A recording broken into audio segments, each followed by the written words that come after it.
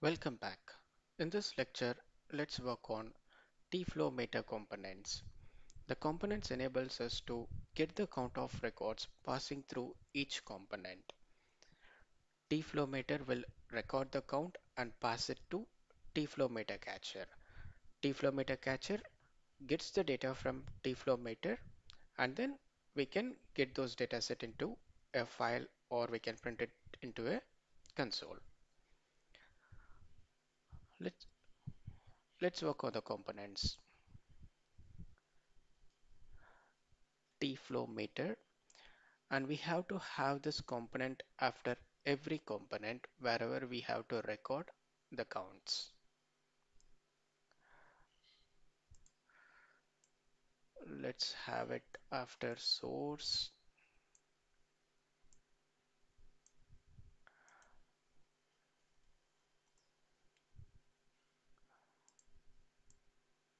after the filter.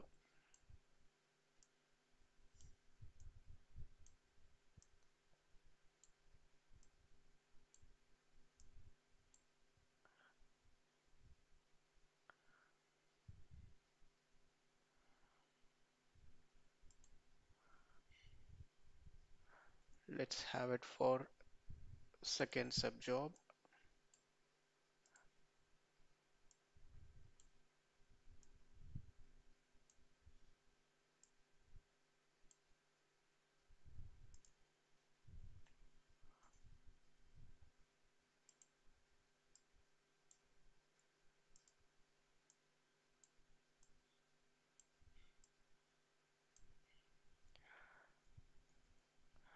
So we have four flow meter. Now let's have flow meter catcher.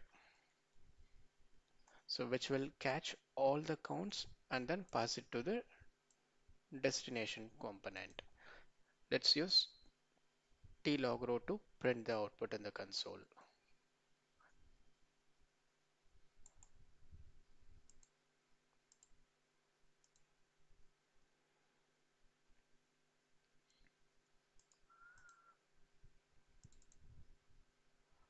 Let's print it in table format. Run.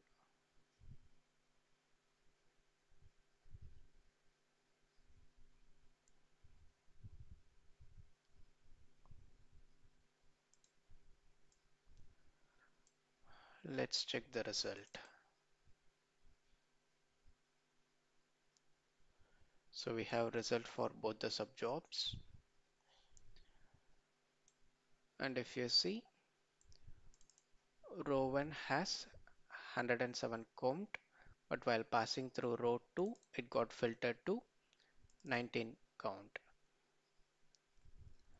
And in the second subjob, row 3 has 107 counts, while passing through row 4, so it got aggregated to 28 count.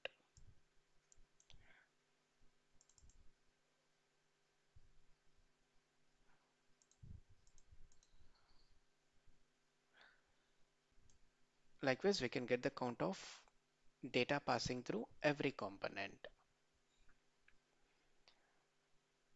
And if we check the properties of uh, flow meter catcher,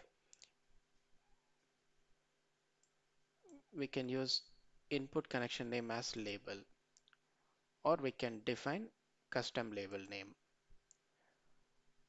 The mode we have absolute or relative.